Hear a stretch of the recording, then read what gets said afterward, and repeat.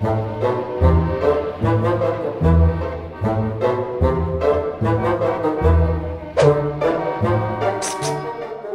macet sampai warak, gak bakalan maneh.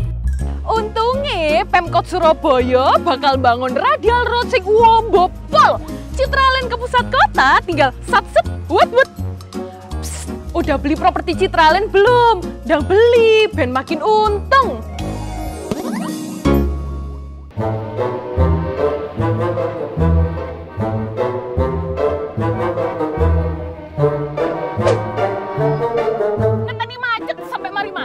Gak bakal maneh.